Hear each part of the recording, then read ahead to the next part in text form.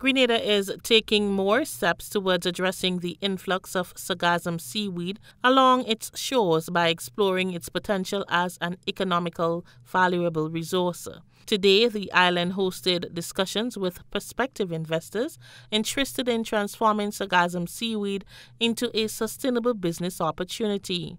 The discussions are being held at the first Grenada EU Task Force meeting on sargassum valorization in partnership with the European Union and stems from the first ever sargassum conference held in October. That meeting was a collaborative effort between the Organization of Eastern Caribbean States, OECS Secretariat, the Government of Grenada, and the European Union. That event laid the groundwork for discussions on how sargassum seaweed could be utilized in industries such as agriculture, bioenergy, and cosmetics. Permanent Secretary in the Ministry of Climate Resilience, Perrin Johnson, spoke of the initiative. So today we are basically moving a step further in advancing the process. So while we had this huge conference with over 300 stakeholders, this event is more um, of a cohesive nature where we bring together persons who are actually interested in investing, um, financial institutions such as even the Green Climate Fund and other financial institutions or the private um, financiers that are interested in partnering with various persons to be able to um, turn what was then a nuisance, what was then just a challenge, into something that is of economic value.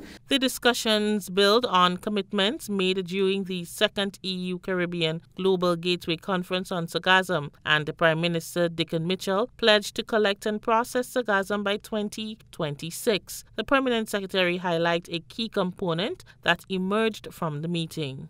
So, one of the main outcomes of today's engagement will be the launch of what we call an expression of interest, whereby we will be inviting persons who have interest in the area of um, and valorization or scaling up the sargassum to be to enter into this um, call and provide costing and, uh, and proposals. It is anticipated that once the call is being launched today, by the end of January 2025, that we can be able to receive proposals and go through the entire procurement exercise of evaluating same. The EU ambassador to Barbados and the OECS, Malgorzata Wojciechowska, echoed the EU's commitment to the initiative. The fact that the Prime Minister committed to this action means that we focus on Grenada first. Uh, but the only way these issues can be solved if there is a regional approach, because of course of the economies of scale, and we're very happy to partner with Grenada as the leader in this uh, in this field, and hope this will set a fantastic example to the other countries to come and uh, cooperate.